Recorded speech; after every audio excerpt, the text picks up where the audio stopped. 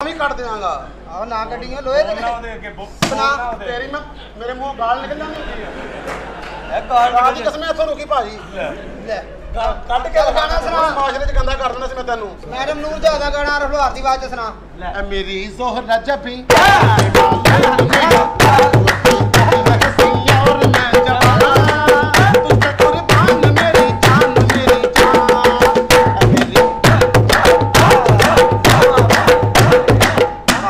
ਜਬੀ ਨਾਚ ਗਾਣਾ।